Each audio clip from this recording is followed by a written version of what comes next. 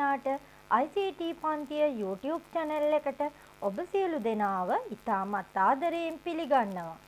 අද මම ඔයාලත් එක්ක කතා කරන්න හිතුවේ NVQ level 4 networking පාඩමේ යම්කිසි ටාස්ක් එකක්. මේක H3 ටාස්ක් එක කිව්වොත් මම නිවැරදි. මේක යටතේ අපි කතා කරන්නේ install or configure network resources to the client PC කියන මාතෘකාව.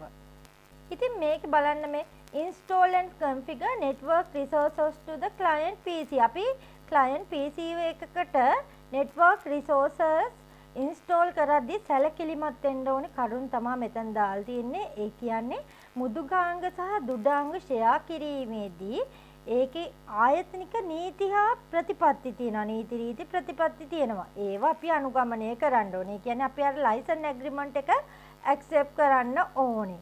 අවශ්‍යතාව අනුව ජාල සම්පත් ඒ කියන්නේ network resources වින්‍යාසගත කළ යුතුය. ඒ කියන්නේ configure කළ යුතුය කියන එක. ඉතින් ඔයගොල්ලෝ බලනවා ඇති මොකද්ද මේ network resources කියලා කියන්නේ කියලා. හරි. network resources කියන්නේ මොකක්ද එහෙනම්? දුඩාංග මුදුකාංග හෝ ජාලවලට සම්බන්ධ දත්ත network resources කියලා අපි හඳුන්වනවා.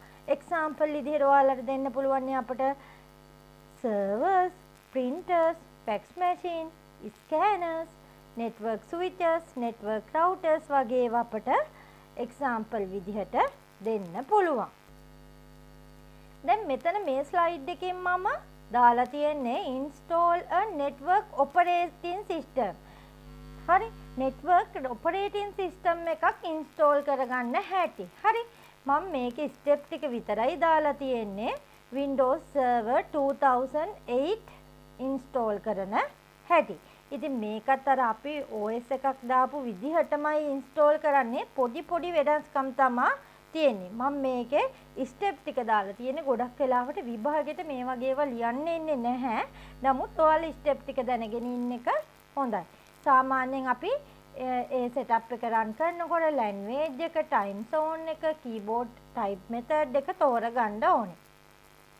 ඊට පස්සේ ඒකට සීරියල් කී එකක් තියෙනවා නම් ඒ ප්‍රොඩක්ට් කී එක ඇතුළත් කරන්න ඕනේ. දැන් අපිට ඊළඟට තියෙනවා දැන් මේ ඔපරේටින් සිස්ටම් ටයිප් එක මොකද්ද? සර්වර් 2008 ස්ටෑන්ඩඩ් එඩිෂන් එකද, කෝ එඩිෂන් එකද කියන එක තෝරගන්න තියෙනවා. හරි? ඉන්ස්ටොලේෂන් ටයිප් එක අපි අප්ග්‍රේඩ්ද දෙන්නේ, ක්ලීන් ඉන්ස්ටෝල් ඉන්ස්ටෝල් ටයිප්ද දෙන්නේ කියන එක තෝරගන්න ඕනේ.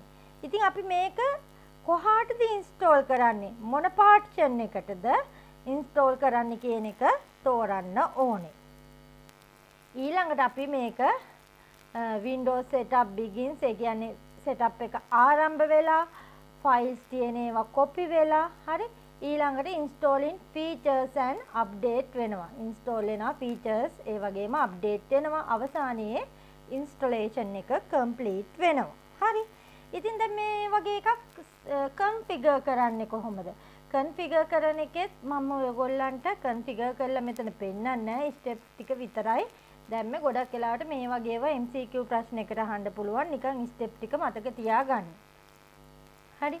ඉස්සෙල්ලම අපි ඇඩ්මිනිස්ට්‍රේටර් පාස්වර්ඩ් එක දාන්න ඕනේ.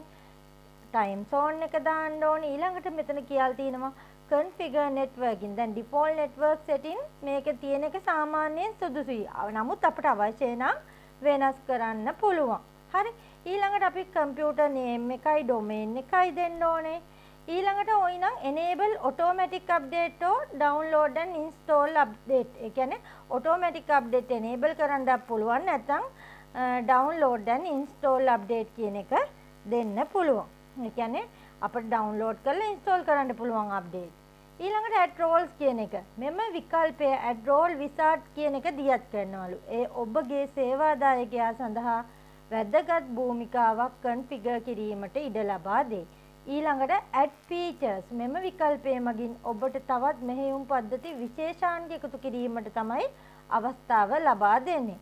Enable remote desktop features එමගින් ඔබට වෙනත් පරිගණකයකින් මෙම සේවාදායකයාව පාලනය කිරීමට ඉඩ ලබා දෙනවා. ඊළඟට ওই නම් අපිට configure කරන්න පුළුවන් firewall එක. ඉතින් මේ තියෙන්නේ ඒ Windows Server 2008 එක දැම්මම මේ තියෙන set time zone එක time zone එක ගන්න තැන configure කරන තැන networking ඔය image එකෙන් ඔයගොල්ලන්ට දක්නට ලැබෙනවා.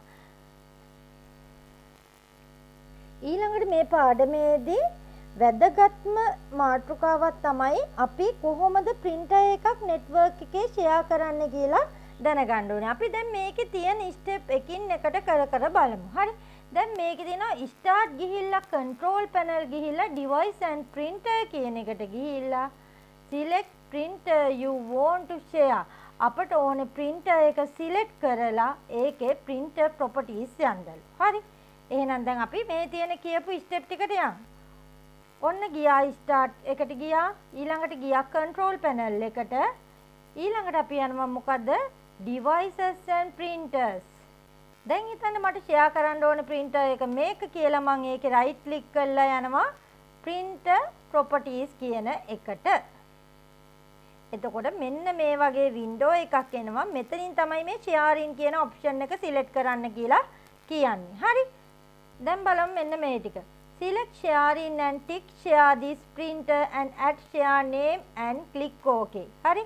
මේකේ share this printer කියන එක tick mark එක දාන්නලු print එකේ name එක දීලා මෙතෙන්ට මෙතෙන්ට print එකේ name එක දීලා OK කියන එක ක්ලික් කරන්නලු. හරි. දැන් මම නම් ෂෙයා කරන්නේ LBP 60යි 30 කියන එක. හරි. ඔන්න දැන් මට ආවේ window එකේ මම sharing ගියා. Share this printer කියන එකට tick mark එක දැම්මම මෙතන මගේ printer එක Canon LBP 60යි 30 කියන එක සිහෙත් සිලෙක්ට් වෙලා තියෙනවා. ඊළඟට මම කියලා තියෙන ස්ටෙප් එක ඕකේ කරනවා.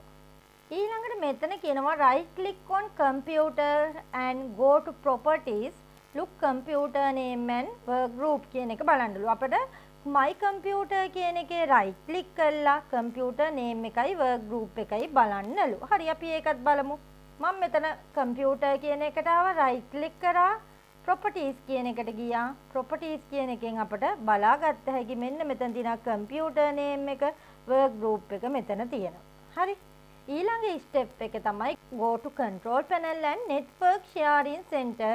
go to advanced sharing setting. හරි. මං යනවා start එකට ගියා. control panel කියන එකට ගියා. යනවා මොකේටද network and sharing center කියලා. හරි. Network and sharing center කියන එකට මම යනවා මේ තියෙන network and sharing center එහෙනම් මං ඕක ක්ලික් කරනවා. ඒක යන්න කිව්වේ change advanced sharing settings කියන එකට. ඒකට මං ගියා. මේ කින turn on network discovery, turn on file and printer sharing, turn on sharing so anyone with network access and save setting. හරි. එහෙනම් මම මේ ටිකට ටික් මාක් එක දාගෙන යනවා මේ විදිහට. මෙතෙන්ට ටර්න් ඔන් කරා මේකට ටර්න් ඔන් කරා මෙතනත් ටර්න් ඔන් කරා මෙතනින් සේව් කරා. හරි? ඒ ටික තමයි ඔයාලට මේ ඉමේජ් එකෙන් ඔයාලට දැක ගන්න පුළුවන් වෙන්නේ. ඊළඟට කියනවා go to control panel and select device printers and add printer කියන එකට යන්නලු. දැන් අපි යන්නේ printer එකක් add කරන්න. හරි? එහෙනම් යන්න කියන්නේ ඉස්සෙල්ලාම මොකේටද control panel එකට අපි යමු control panel එකට device and printers කියන එකට යමු. මෙතනින් අපි දෙනවා add printer කියන එක. හරි. එතකොට මෙතන එනවා at local printer or at network wireless or bluetooth printer. මම මෙන්න මේක ක්ලික් කරනවා. හරි. මේක ක්ලික් කරනවා. ඒ ක්ලික් කරාට පස්සේ අපිට මෙතන අපේ printer එකේ නම ওই විදිහට ඩිස්ප්ලේ වෙනවා. ඉතින් දැන් ඔයාලට පුළුවන් මෙතන මේ රූප සටහනේ තියෙන විදිහට next කියන එක ක්ලික් කරලා මෙතනින් print name එක තියෙන එක select කරලා finish කරන්න. හරි. මම ඒ step එකත් කරලා පෙන්නන්නම් ඉතින්. ඔන්න දැන් මේ නම select වුණානේ. නම search උනේ හින්දා මම ඒක next කරනවා. එතකොට ඊළඟ window එකට යනවා. ওই විදිහට ආවා. මොකේටද? අලුත් වින්ඩෝ එකට. හරි. ඊළඟට මම මේක නෙස්ට් කරා. හරි. මෙතනින් ෆිනිෂ් කරනවා. හරි. ඔය එක විදිහක්. මෙතන ඉඳන් කියලා තියෙන්නේ තවත් විදිහක්. දැන් දැන් බලන්න. ඒ අනිත් විදිහ තමයි මෙතන මෙහෙම printer name එක display වුන් නැත්තම් හරි එතන තියෙන එක වැරදි නම් හරි අපිට පුළුවන් the printer that I want is not list කියන එක දීලා next කරන්න. හරි. ඒක දීලා next කරාම එන window එක තමයි මෙතන මේ රතු පාටින් step 2 එක දාලා තියෙන්නේ. හරි. දැන් මෙතන දෙන්න ඕනේ ඔයගොල්ලෝ forward slash එක දෙකක් එක්ක computer name එකයි slash එකයි printer name එකයි. ගොඩක් වෙලාවට මේකත් ඔටෝම සිලෙක්ට් වෙනවා. හරි. මේ වින්ඩෝ එකෙන් ඔයගොල්ලන්ට පේන්නේ අපි මේ printer name එකයි අපේ PC name එකයි printer name එකයි type කරපු එක. ඊළඟට මම මේක next කරනවා. next කරාම මොකද වෙන්නේ? අපේ printer name එක ඔතනින් එනවා ඊළඟට finish window එක ලැබෙන්නේ. හරි.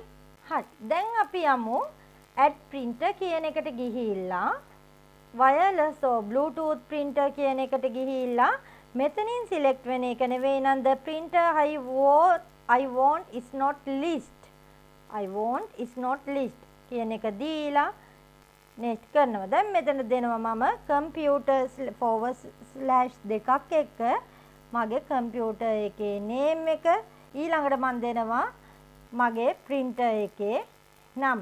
හරි. දැන් මම LBP 60 30 කියන එක ওই විදිහට දෙන්න. දීලා මම මොකද කරන්නේ? next කරා නෙස්ට් කරාට පස්සේ මෙහෙම printer name එක display වෙනවා. මේකත් නෙස්ට් කරාට පස්සේ මෙතනින් finish වෙනවා. හරි. මගේ presentation එකේ finish window එක නැහැ. මම ඒ හින්දා මේ finish window එක screenshot එකක් අරගෙන මේ විදිහට මෙතෙන්ට දාලා finish කියන එකත් ඔයගොල්ලන්ට බලා ගන්න පුළුවන් විදිහට display කරනවා. අපි බලමු ඒකත්. ඔන්න දැන් මම finish window එක crop කරලා ගත්තා. මෙතනින් දැම්මා ප්‍රසන්ටේෂන් එක සේව් කරා. ඔන්න ඔය විදිහට තමයි අපි ෆිනිෂ් කරන්නේ. ඉතින් මම අද ඔයාලට කියලා දුන්නේ කොහොමද අපි නෙට්වර්ක් එක printer එකක් share කරන්න කියලා. ඉතින් ඔයාලට මේ වීඩියෝ එකෙන් මේ පිළිබඳ හොඳ අවබෝධයක් ලැබෙන්නේ නැති කියලා මම විශ්වාස කරනවා. ඔයාලටත් මේ වීඩියෝ එක ප්‍රයෝජනවත් වුණා කියලා ඔයාගේ හිතට දැනෙනවා නම් කමෙන්ට් කරන්න, ලයික් කරන්න, මේ වීඩියෝ එක තවත් යාළුවෙක්ට බලන්න ෂෙයා කරන්න. ඒ වගේම තාමත් ඔයාලා මගේ YouTube channel එක subscribe කරලා නැත්නම් දැම්ම ගිහින් ICT පන්තිය කියන YouTube channel එක subscribe කරලා ඒ ඉස්සරහ තියෙන notification bell icon එක press කරලා all කියන command එක දෙන්න. එතකොට තමයි ඔයාලට පුළුවන් වෙන්නේ මම වීඩියෝ එකක් දාපු ගමන් notification එකක් ඉතාමත් ඉක්මනින් ඔයාලගේ ෆෝන් එකට ලබා ගන්න. ඉතින් මම නැවතත් ඉතාමත් ඉක්මනින් ඔයාලත් එක්ක අලුත්ම අලුත් වීඩියෝ එකකින් එකතු වෙනවා මේ වෙනකන් ICT පන්තියේ YouTube channel එකත් එක්ක රැඳිලා හිටිය ඔයාලා හැමෝටම ගොඩක් ස්තුතියි. Yeah.